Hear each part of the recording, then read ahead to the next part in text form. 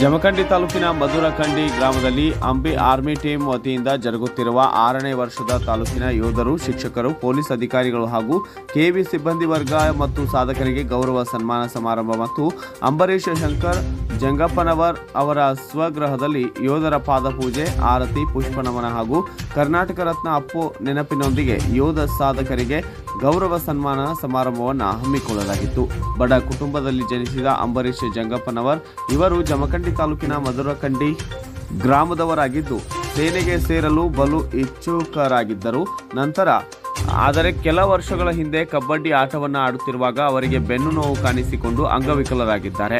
ಅವರು ಗ್ರಾಮದಲ್ಲಿ ಒಂದು ಜೆರಾಕ್ಸ್ ಅಂಗಡಿಯನ್ನು ಇಟ್ಟುಕೊಂಡು ಉಪಜೀವನ ನಡೆಸುತ್ತಿದ್ದು, ತಮ್ಮ ಅಂಗಡಿಯಲ್ಲಿನ ಬರುವ ಆದಾಯದಲ್ಲಿ ಶೇಕಡ ನಲವತ್ತು ಪರ್ಸೆಂಟ್ ಹಣವನ್ನು ಸೈನಿಕರಿಗಾಗಿ ಖರ್ಚು ಮಾಡುತ್ತಿದ್ದಾರೆ ಎಂದು ತಿಳಿದು ಬಂದಿದೆ ಸ್ವಾಮೀಜಿಯವರನ್ನ ಕಂಡರೆ ಪಾದ ಸ್ಪರ್ಶ ಮಾಡದ ಈಗಿನ ಕಾಲದಲ್ಲಿ ಜಮಖಂಡಿ ತಾಲೂಕಿನ ಮಾಜಿ ಹಾಗೂ ಹಾಲಿ ಸೈನಿಕರನ್ನ ಮತ್ತು ವೀರನಾರಿಯರನ್ನ ಕರೆಯಿಸಿ ತಮ್ಮ ಸ್ವಗೃಹದಲ್ಲಿ ಯೋಧರ ಪಾದಪೂಜೆ, ಆರತಿ, ಪುಷ್ಪನಮನ ಮಾಡಿರುವುದು ವಿಶೇಷವಾಗಿತ್ತು.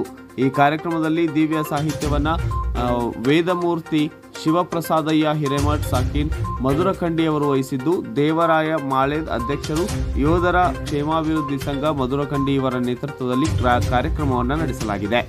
ಇನ್ನು ಅಧ್ಯಕ್ಷತೆಯನ್ನ ಶಾರದಾ ಕಿಳೆಗಾವಿ ಗ್ರಾಮ ಪಂಚಾಯಿತಿಯ ಅಧ್ಯಕ್ಷರು ಮಧುರಖಂಡಿಯವರು ವಹಿಸಿದ್ದು, ಮುಖ್ಯ ಅತಿಥಿಗಳಾಗಿ ಆರ್ ಎಸ್ ಶಿರೋಳ್ ಅಧ್ಯಕ್ಷರು ತಾಲೂಕಾ ಮಾಜಿ ಇವರು ಕ್ಷೇಮಾಭಿವೃದ್ಧಿ ಸಂಘ ಜಮಖಂಡಿ ವಹಿಸಿದ್ದು, ದಿಕ್ಸೂಚಿ ಭಾಷಣಕಾರರಾಗಿ ನಂದು ಗಾಯಕ್ವಾಡ್ ಸಾಮಾಜಿಕ ಕಾರ್ಯಕರ್ತರು ಬರಹಟ್ಟಿಯವರು ಆಗಮಿಸಿ ಭಾಷಣ ಮಾಡಿದ್ದಾರೆ. ಈ ಸಂದರ್ಭದಲ್ಲಿ ಮಧುರಖಂಡಿ ಹಾಗೂ ಸುತ್ತಮುತ್ತಲಿನ ಗ್ರಾಮಗಳಿಂದ ಅನೇಕ ಮಾಜಿ ಯೋಧರು, ಗ್ರಾಮಸ್ಥರು ವೀರ ನಾರಿಯರು ಮಹಿಳೆಯರು, ಯುವಕರು ಕೂಡ ಭಾಗಿಯಾಗಿದ್ದರು. Bureau report Shikharappa Sanasidda R D news, Jamkhandi.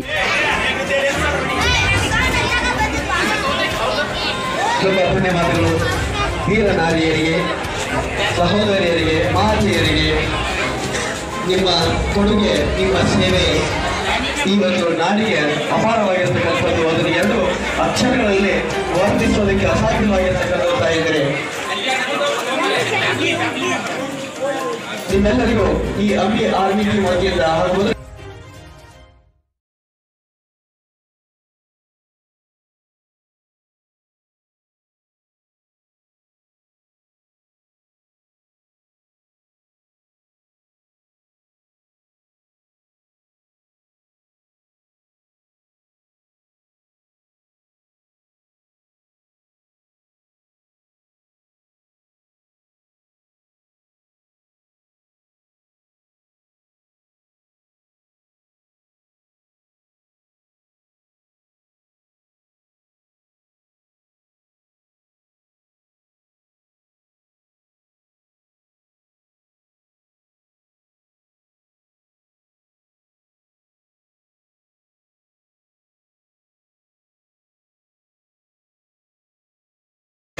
ಎಲ್ಲ ವೀರ ಮಾತೆಯರು ಕೂಡ ಅವರಿಗೆ ಆಶೀರ್ವಾದ ಸ್ಪೀಕರ್ ಅವರಲ್ಲಿ ಬೆಳೆಸ್ಕೊಳ್ತೇನೆ ಇಲ್ಲಿರ್ತಕ್ಕಂಥ ತಾಯಿ, ಈಗ ನಾವು ನಮ್ಮ ದೇಶವನ್ನ ಸ್ವತಂತ್ರವಾಗಿ ಮುನ್ನಡೆಸಿಕೊಂಡು ಹೋಗ್ತಾ ಇರ್ತಕ್ಕಂಥ ಎಲ್ಲ ವೀರ ಯುವಕರ